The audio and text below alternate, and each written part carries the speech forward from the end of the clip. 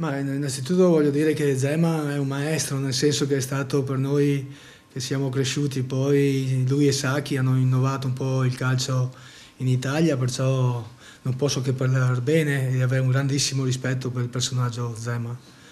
Diciamo che eh, il 4-3-3 io ho cercato di proseguire il suo lavoro e di dare degli accorgimenti nella fase difensiva, cercare di, di, di, mettere una squadra equilibrata in campo, che abbia compattezza, che, che sappia ripartire, però insomma cerco anche di, di non stravolgere più di tanto perché secondo me eh, a nove partite dalla fine non è che posso inventarmi io qualcosa. È, è, fondamentale questo aspetto, secondo me, mentale e di come approcci la partita, di come devi andare a affrontare l'avversario, dal carattere, dalla determinazione, perché se, se sei molle eh, difficilmente ti salvi, perché eh, ci sono delle squadre che sono abituate a lottare per la salvezza. Pescara non è mai stato abituato in questi anni a lottare per la salvezza, perciò bisogna far mente locale e, e, essere consapevoli che dobbiamo affrontare le partite in questo modo qua. E che squadra ha trovato? Però una squadra depressa?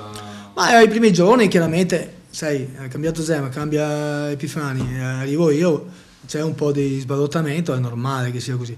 Però quando tu poi lavori, vai avanti e la testa va sul lavoro e cominci poi a pensare esclusivamente alla partita. È dove io voglio portare la squadra. Quello che mi aspetto io è una partita coraggiosa, perché se noi andiamo lì eh, giochi timoroso, li aspetti con le qualità che hanno loro davanti, ti fanno male.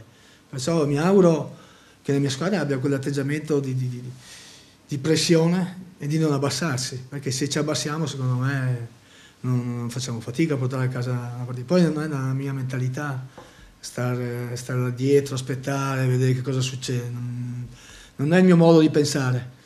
È chiaro che L'ho preparata eh, guardando l'avversario come si comporta, questo sì. Domani è la verifica per me importante per vedere se tutto quello che noi abbiamo cercato di fare in questi pochi giorni, qualcosa viene applicato. Ho firmato un contratto per questi tre mesi e cercherò in tutti i modi di portare a termine l'obiettivo che ho nella mia testa, che è la salvezza.